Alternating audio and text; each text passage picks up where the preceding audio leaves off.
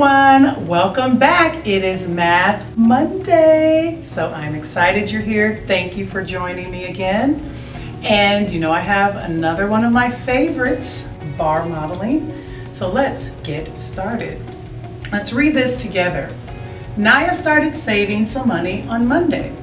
Each day she saved $2 more than the day before. By Friday, Nya had saved $35. Find the amount Nya saved on Wednesday. So right now, I would encourage you, pause the video and see if you can solve this on your own. And if not, stay with me and we'll work through this together. So as you know, with bar modeling, you always want to start with equal bars because that will help you in the long run. So let's read the first sentence. She started, Nya started saving some money on Monday. Each day she saved $2 more than the day before. So let's draw that out. So she started with an unknown amount on Monday. Each day after that she saved $2 more than she did before. So that's Tuesday. Wednesday she saved the $2 from there and another $2.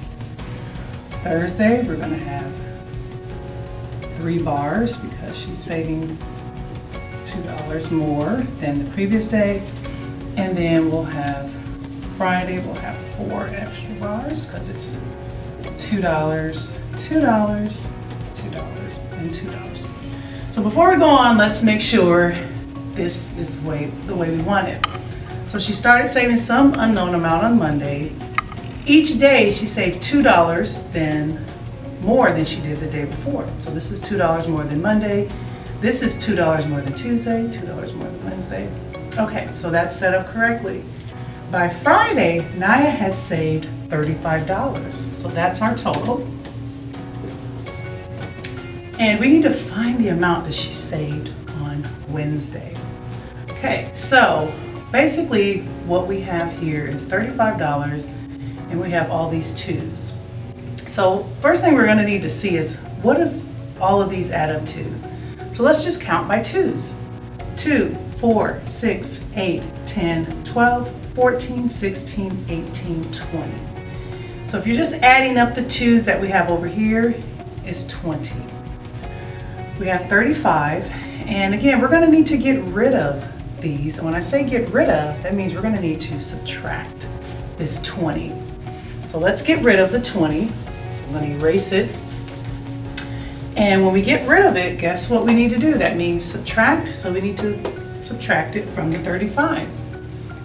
35 minus 20. So if you can do this in your head, let's go ahead and do that. If you can't, then we can break this 20 down into 10 and 10. So it can be 20, 35 minus 10 minus another 10. So we know that we get 15 when we subtract. So we have 15 and we have five bars left. So we need a number, an equal number, when added together will give us 15, or we can just divide 15 divided by 5. So 15 divided by 5 is 3. Also, if you wanted to do 3 plus 3 plus 3 plus 3 plus 3, that will also give you 15. So because of that, we know now that these bars are all worth three. So we just have to put it back like we originally had it and then we'll be able to solve. So we had here, two and a two. Here we had, hope these bars are looking funny. It's because I'm going kind of fast. but that's how we had it. Okay, so now we can solve the problem. It's originally like we had it. We have all of our numbers.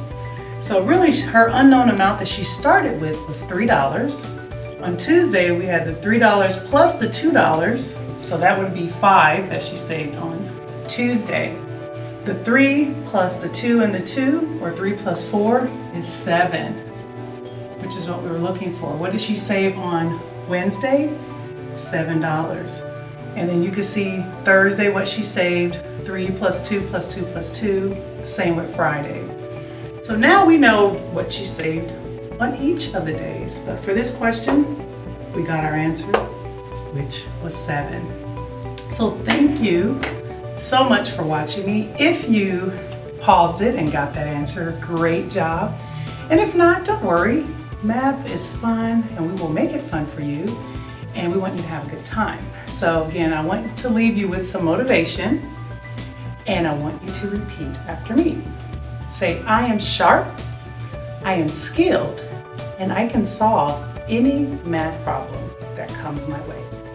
So thanks so much for watching. We'll see you on the next Math Monday.